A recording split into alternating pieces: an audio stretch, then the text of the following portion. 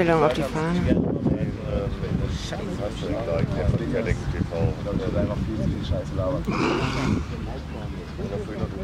Du sagst, hallo, mein Name ist Nico. Vor eineinhalb Jahren war ich in der Schule und wusste über nichts Bescheid.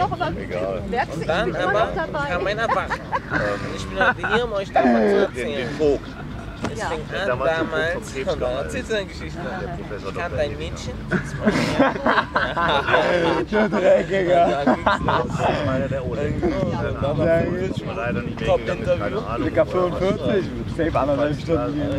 Ich werde richtig ins Detail gehen. Dann bin ich irgendwann zu dem gegangen, weil ich halt, weil ich auch sehr ausartig Tschüss.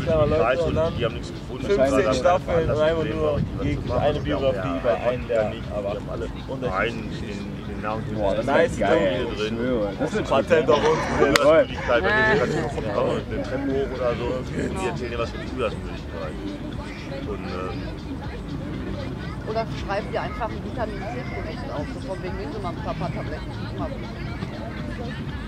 Es war ja schon naturheilkundliche Hausärzte, die wo schon der, der Pharmareferent einen großen Bogen drum macht und so. Und trotzdem nicht. Und die halt und so weiter. Dann bin ich da eingegangen. Aus verschiedenen Gründen habe ich da durchchecken lassen und ich stand kurz vor Skorbut. Von hier bis hier entzündet. Ja, Diagnosen ohne Ende, Gastriden, Magen-Darm-Entzündung, Nebenhöhlen, alles entzündet. Das Jahren. geil, deswegen hat er mir vorgeworfen. Total runtergewirtschaftet mit Nährstoffen und so weiter. Geil, das Flash war ja gerade weggeguckt. Ich? Nein, Bruder, ich habe nur meinen Nacken gecheckt, Digga, aber mein Nacken verschwand ist.